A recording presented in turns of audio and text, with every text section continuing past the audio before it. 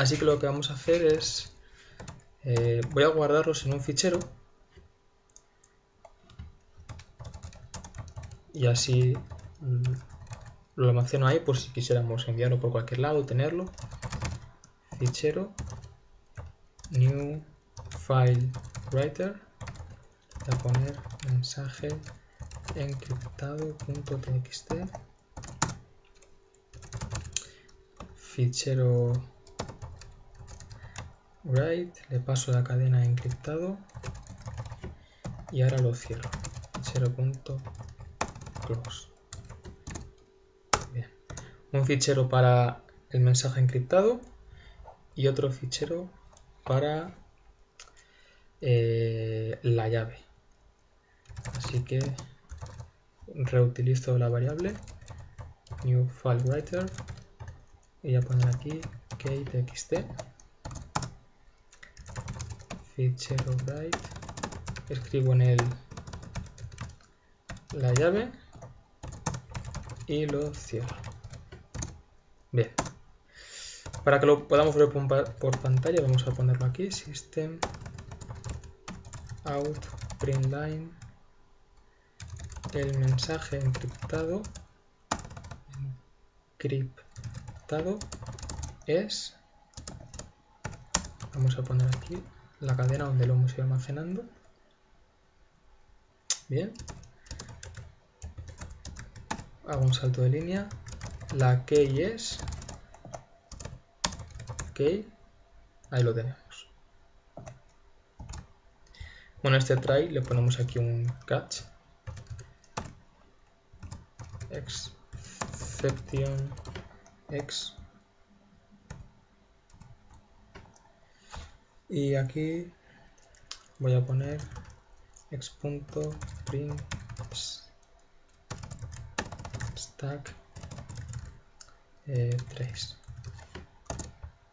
es una función tengo que llamarle ahora ahora sí vamos a ver ¿Cómo quedaría entonces? Bueno, se supone que una vez hecho esto, eh, ya estaría toda la encriptación generada. A ver, abrimos aquí. Vamos a darle un, mensaje. Este mensaje está encriptado. Bueno, pues aquí tendríamos todos los códigos ASCII alterados de todas las letras. Y aquí las parejas de, de posiciones que se han cambiado a medida que van avanzando los grupos de 8 bits que conforman una sola letra. Y esto se nos ha tenido que guardar en un fichero de texto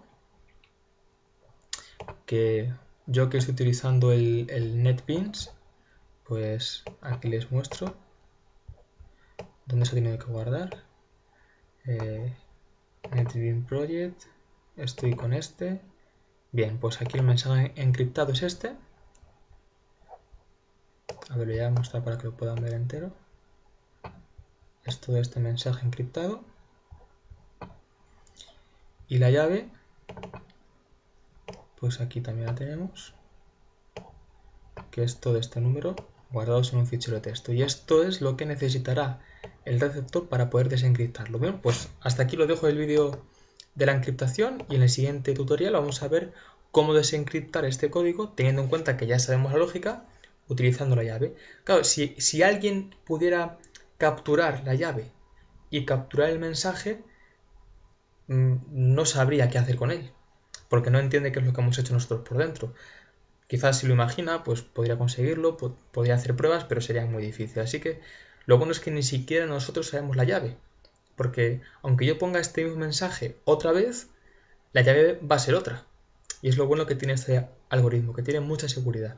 Se podría enrevesar aún más, se podría complicar poniendo más intercambios de parejas o añadiéndoles cada X posiciones algún dígito que sea 0 o 1, que, que desvirtúe luego toda la cadena restante y sabiendo qué posiciones son las que han sido desvirtuadas, después en la desencriptación ese código se elimina y así ya todos los códigos basura que hemos metido pues los, limpiaríamos y nos quedaría la cadena que es con la que tenemos que trabajar. Entonces, se puede complicar mucho más, pero yo creo que, así, para ver un, ejemplo de encriptación, pues está bien. Y bueno, en el siguiente tutorial vamos a ver cómo desencriptarlo. Espero que les guste.